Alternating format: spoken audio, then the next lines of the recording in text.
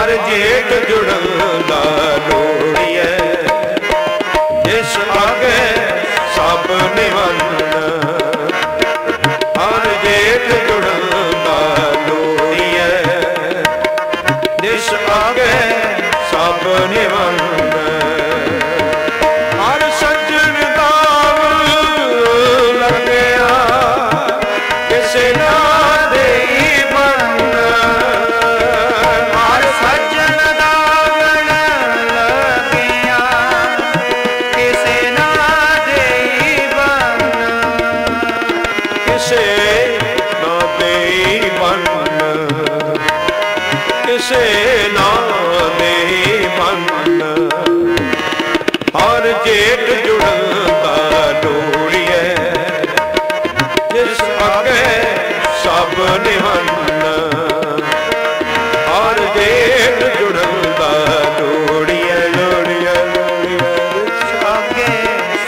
ਸਭ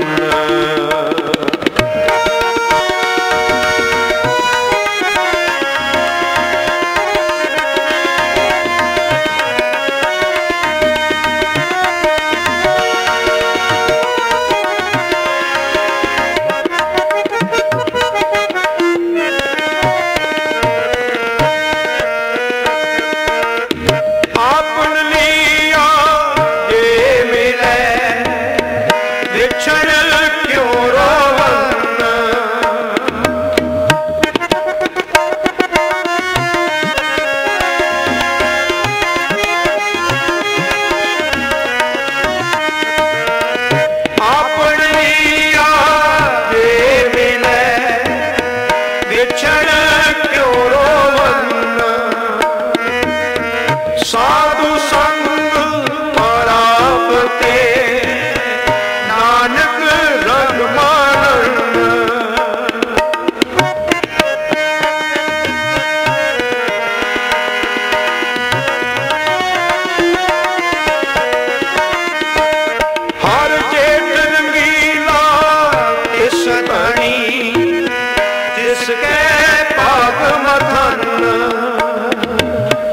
ਜਿਸ ਕੈ ਭਾਗ ਮਥਨ। ਜਿਸ ਕੈ ਭਾਗ ਮਥਨ।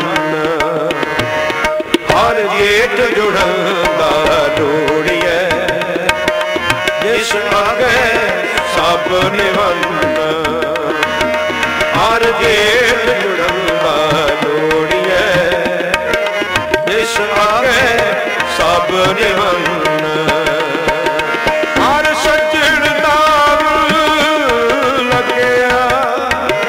ਕਿਸੇ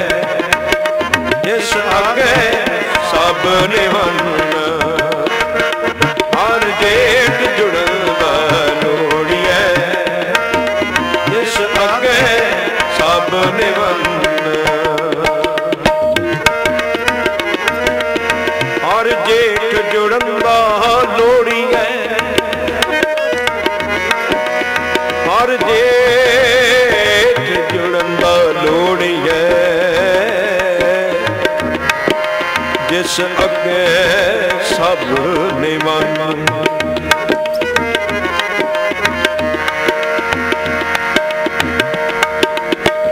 ਅੱਜ ਆਪ ਸਮੂਹ ਸੰਗਤ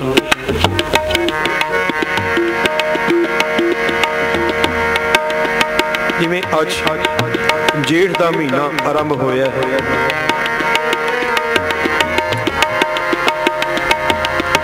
ਇਸ ਦੇ ਅੰਦਰ ਗੁਰੂ ਅਰਜਨ ਦੇਵ ਮਹਾਰਾਜ। ਕੀ ਕਹਿ ਰਹੇ ਹਨ? ਕੀ ਸਮਝਾ ਰਹੇ ਹਨ?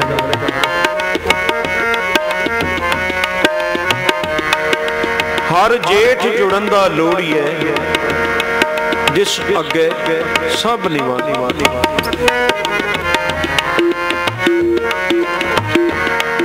ਜੇਠ ਦੇ ਮਹੀਨੇ ਦੇ ਅੰਦਰ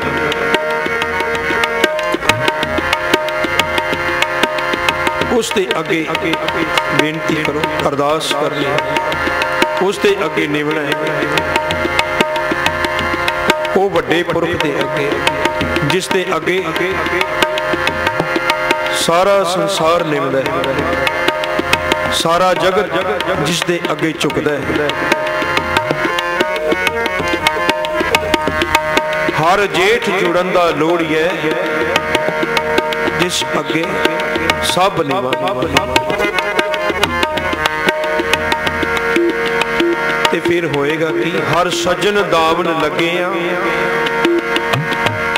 ਕਿਸੇ ਨਾ ਦੇਈ ਬੰਦ।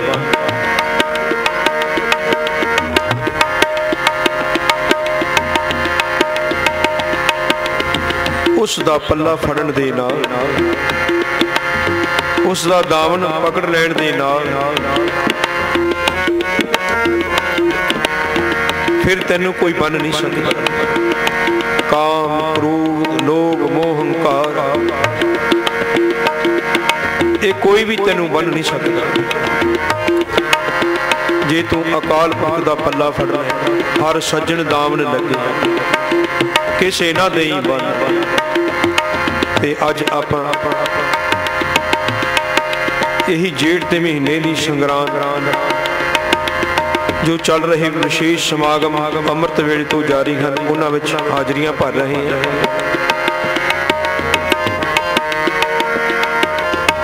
ਅਸੀਂ ਵੀ ਸੱਚੇ ਸਤਿਗੁਰੂ ਦਾ ਪੱਲਾ ਫੜੀਏ ਤੇ ਜੀਵਨ ਦੇ ਬੰਧਨਾਂ ਤੋਂ ਛੁਟਕਾਰਾ ਪਾਈਏ। ਕਿ ਸਤਿਗੁਰ ਸੱਚੇ ਪਾਤਸ਼ਾਹ ਸਾਡੇ ਤੇ ਵੀ ਮਿਹਰ, ਬਖਸ਼ਿਸ਼ ਕਰੋ। ਸਾਨੂੰ ਵੀ ਇਹਨਾਂ ਬੰਧਨਾਂ ਚੋਂ ਕੱਢ ਕੇ ਤੇ ਆਪਣੇ ਨਾਲ ਮਿਲਾ ਲਓ।